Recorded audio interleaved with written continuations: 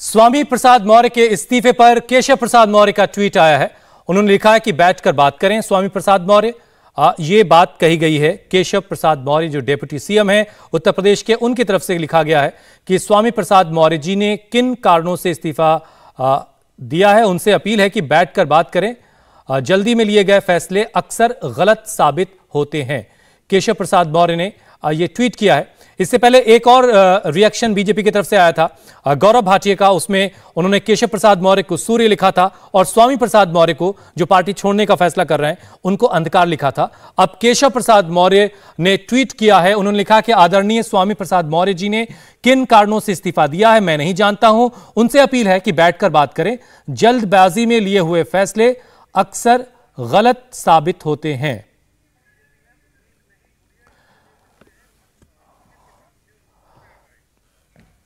तो ये ट्वीट ये बता रहा है कि पार्टी छोड़ने का फैसला कर लिया है। स्वामी प्रसाद मौर्य ने।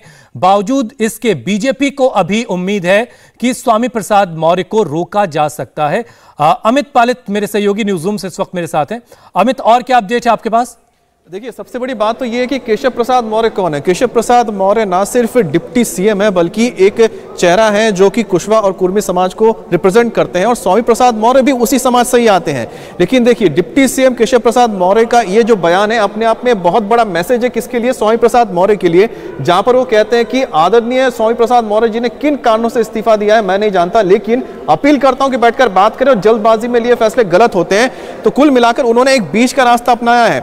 उन्होंने, देखिए, यहाँ पर जो कहीं पर भी कोई भी अपमानजनक कोई भी शब्द का इस्तेमाल नहीं किया है और ऐसा भी नहीं कि उन्होंने कहीं पर गुस्सा या पर विरोध जताया कि वो पार्टी छोड़ के चले गए हैं। अभी भी उन्होंने एक बीच का रास्ता लेते हुए संभावनाएँ रखी हुई हैं कि अगर आपको कोई इशू है, अगर आपकी कोई ऐसी चीज़ें हैं जिसको हम एड्रेस नहीं कर पाए हैं, आप आइए, बात करके हम सुलझा सकते हैं। तो ये अपने आप में एक बहुत बड़ा मैसेज दिया जा रहा है स्वामी प्रसाद मौर्य को। अब ये देखना होगा कि क्या स्वामी प्रसाद मौर्य ने जो फैसला लिया है, उस पर वो रहते हैं, खड़े रहते हैं या फिर वो एक बार फिर से बात करने की कोशिश करते हैं। लेकिन ये अपने आप में एक बहुत बड़ी बात है कि बीजेपी ने यहाँ पर अभी भी आशा नहीं छोड़ी है। वो ऑप्टिमिस्टिक है। भले ही गौरव भाटिया की अगर देखें तो बहुत तीखा था, बहुत तीखा ट्वीट आया था। लेकिन जो प्रतिक्रिया डिप्टी सीएम की ओर से आई है, वो तो ये साफ़ कहता है कि भाई अभी भी उन्होंने एक मिडिल पाथ अपनाया है, जिसमें गुंजाइश छोड़ी हुई है, दरवाजे बंद नहीं किए बीजेपी ने और सरकार ने। बिल्कुल बिल्कुल। और अब से थोड़ी देर पहले केशव प्रसाद मौर्य, जो डेप्यूटी सीएम उत्तर प्रदेश के, उनकी तरफ़ से ट्वीट किया गया, जिसके बारे में अमित हम मेरे सहयोगी बता रहे थे। आदरणीय स्वामी प्रसाद मौर्य जी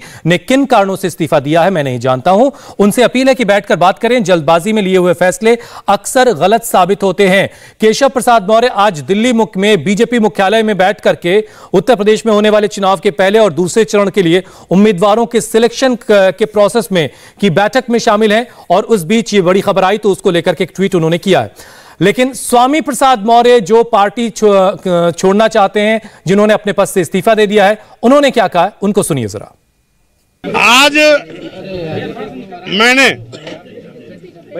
दलितों पिछड़ों सब लोग खड़े किसानों बेरोजगार नौजवानों छोटे लघु मध्यम व्यापारियों के खिलाफ सरकार के रवैये को देखते हुए उत्तर प्रदेश योगी सरकार के मंत्रिमंडल से मैंने मंत्री पद से इस्तीफा दिया पत्र मैंने श्री राज्यपाल जी को भेज दिया और इस्तीफे के कारण का उल्लेख भी उस पत्र में दिया है जिसकी सूचना मैंने आप लोगों को मीडिया वालों को भी प्रेषित कर दी है। आपके साथ और कौन कौन लोग हैं जो आपके अभी ज़िक्र कर रहे थे इससे पहले की जो छोड़ना अभी वजह है उनके?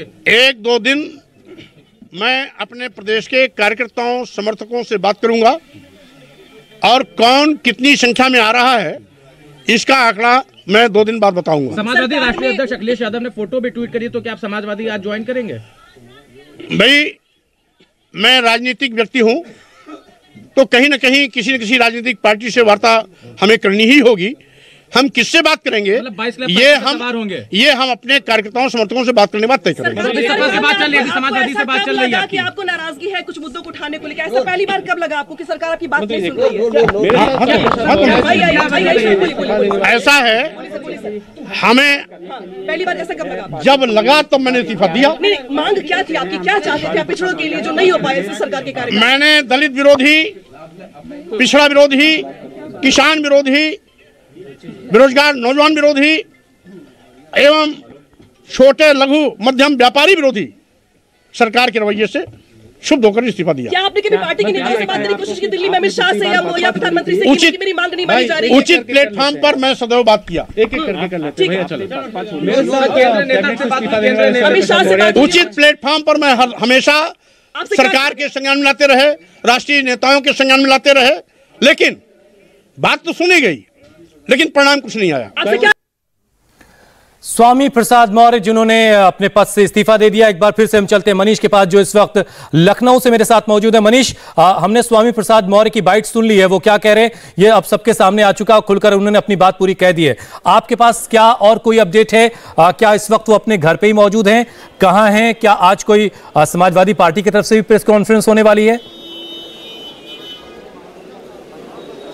देखिए स्वामी प्रसाद मौर्य फ़िलहाल अपने गोमती नगर के आवास पर मौजूद हैं और अभी जो मौजूदा समय में जो हमारे पास खबरें आ रही है उसके मुताबिक ब्रजेश प्रजापति जो कि विधायक हैं बांदा से है उनकी भी इस्तीफे देने की खबरें आ रही हैं। हालाँकि वो खुद स्वामी प्रसाद मौर्य का जो सरकारी आवास है वो यहाँ पर पहुँच रहे हैं और ये माना जा रहा है कि इस्तीफे की कॉपी अपने साथ लेकर बैठे हुए मैं हैं। आपको रोक रहा हूँ। इंडिया टीवी हर वक्त हर जगह। डाउनलोड करने के लिए सर्च करें India TV news Google play store या एप स्टोर पर।